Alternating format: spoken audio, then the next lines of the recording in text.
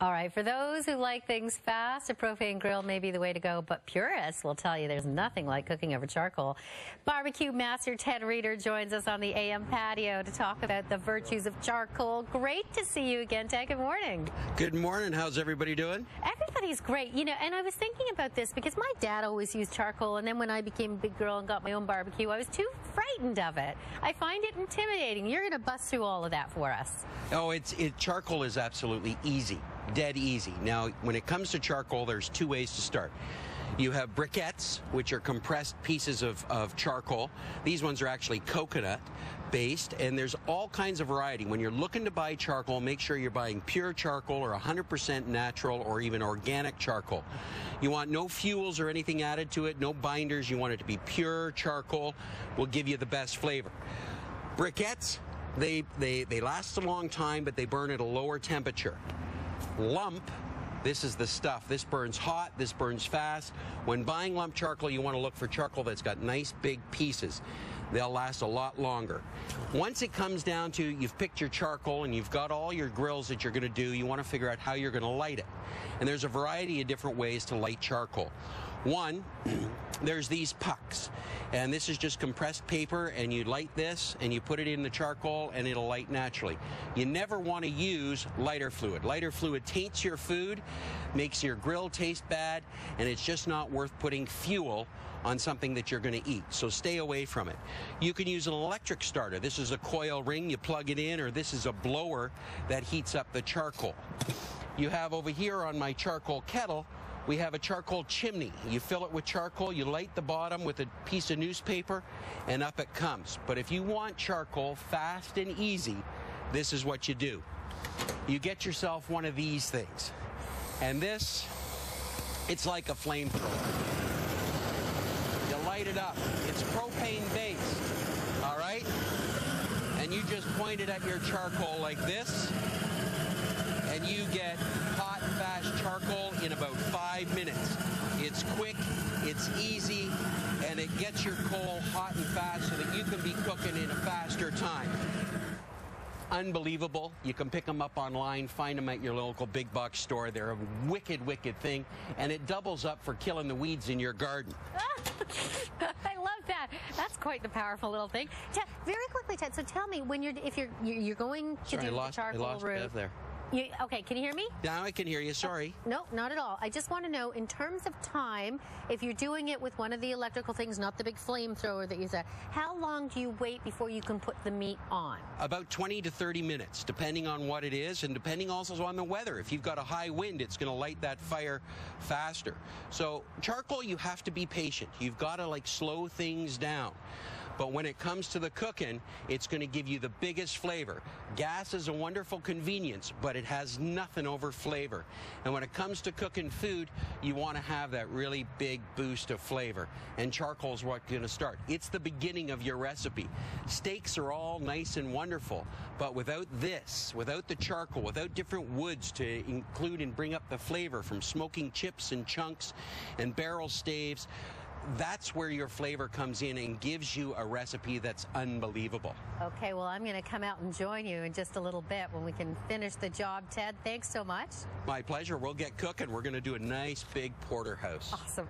Sounds great. Okay, so Ted will be back with us near the end of the show to grill up a tasty steakhouse recipe. Word has it there might be a little béarnaise in my future.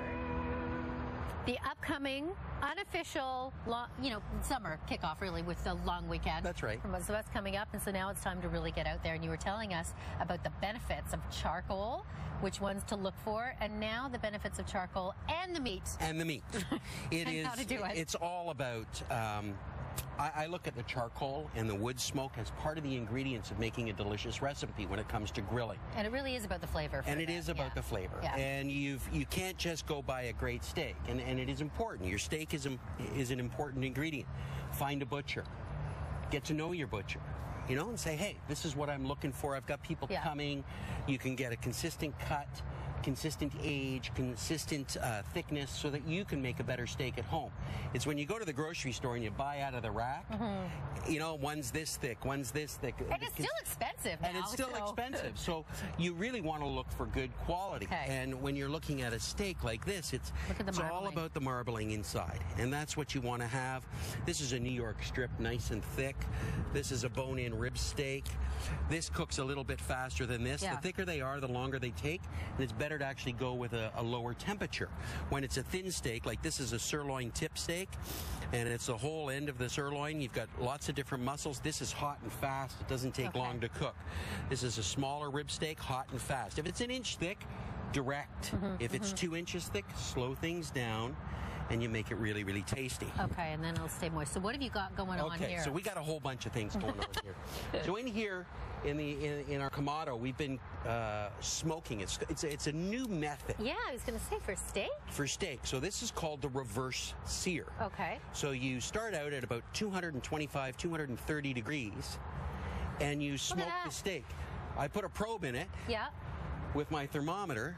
So right now my internal temperature is about 110 degrees, where I want to take it up to about 120. But just for what we're our doing, purposes. for our purposes, we've added wood chips into the charcoal. We have what's called a plate setter in there, Oh, so it's covering which diffuses okay. the char- diffuses the heat and brings it up How and long around. is that on there, by the way? I know it's, we're Uh, this this earlier, is, is about 40 minutes. Okay. It takes 40 minutes to an hour. Patience. Get- I look at it this way. On the long weekend, if it takes an hour to just to get this Yeah. to smoke, you get three beers. it's a great excuse to sit on the patio. Exactly. I've got to watch this. So I want to. This is a porterhouse, and a porterhouse has that T-bone in it. Okay. It has a very large eye of the fillet, and it has the New York sirloin. So it's taking this from the T-bone, and this put together one, on the bone, thick. And it's thick very piece. thick. So when we cut, I'm going to take this just to show you. Mm-hmm. We're going to take this right along the bone. right along the bone, and this is a fillet. Yep. Look at that, beautiful. That's right now is at a blue rare. Yes. So we've just added flavor Because we took it off at one. over okay. to our charcoal. To get it Yeah. to the you know medium up to 120. Yeah. And then we take it over Okay. to our charcoal grill. Always do a little extra seasoning Yes. like that. And then we've got hot coals So here. that's gonna sear like that. Sear for about two to three minutes per side, and it'll take it from that 115 to 125 Oh, will that kind of lock in the Lock in the flavor. Okay. Wow. So you're low and slow. You're warming the meat up really, mm-hmm. and it's not freaking it out when it hits a hot grill. Nice. Now, over here, this is this is a little bit unusual cooking. So we're going to Okay. take this little rib Thin? steak, thin steak, and we're going to cook it. You need to season. This is just salt and pepper. Yep. But be liberal. So- okay. Okay. Okay. You're making a steak. You're gonna put that right on? So these are hot coals. This Oh is coconut charcoal, and we're just going to take this and we're going to lay it right on Oh my top, gosh. and it's going to all cook. that stuff is gonna stick on No, it. it's not. Okay. It I gets hot and fast. I trust you. We've and got then like this. 20 seconds left. Okay, so this we're going to throw over here to sear it as well. We're going Oh to have a look at our piece. Look, look, it just starts to Look sear at how there. gorgeous that is. And it doesn't take long, but you need to do this with a thick cut of meat. when you're searing, lid up. Lid up. Okay. Direct heat, hot and fast. You can do it on this as Yeah. well. But whatever type of charcoal you grill have, you have, you've got to have patience to get the coals to where they're really hot. And you will maintain charcoal is so much better for Oh flavor. yeah, it's all about the flavor. Listen, this is the season for it. It smells. You wouldn't believe how good it smells. Out here, we'll be right back with more on Kennedy. What's a, a great idea for the Um, long weekend? Smell-o-vision is necessary right now. So I don't. You talk. That's a. por- I thought it was brontosaurus, but it's a porterhouse. It's a porterhouse, and this fillet was on there, so I took the fillet off. Oh, because yeah. Wow. This is a beautiful piece of meat. And it was very right on there. And it was on there, and we smoked it, and then, you know, we take this one here, and Oh, this is just, you know, and. I've cooked this oh, now to just a nice medium rare to medium, Yeah. and you slice it on the bias. You don't have to eat this all by That's yourself. you can. Perfect. And then that's a little fatty spot, and look, look, how at that. easily Look that, that. goes. It just through. melts in your It mouth. just- it- Wow. Look at that. And you just want to have, you know, when you do it, patience. It- I'm not having Yeah. patience right now. Well, dive in. I'm not- Dad, try you don't it. need a fork. This is steak. I know I'm not your hands. practicing patience right, now, Try a Jeff. little piece. All right. Jeff, do you want a all piece? right, th- oh, I And got all you did was season it with a little salt and pepper. Salt and pepper, and it's uh, that's Melt all you mouth. need. It really does melt in your mouth. And then this That is one- unbelievable. This is the rib steak that we cook just straight Hmm. on charcoal, So you're going to get a little of that charcoaly flavor, but you can brush it off with a little brush, and then you oh. just take that. This is so mm-hmm. sad for us, Ted, to sit here and mm. have to taste all. I know it's horrible. Thank isn't it? you, It's by the way. a-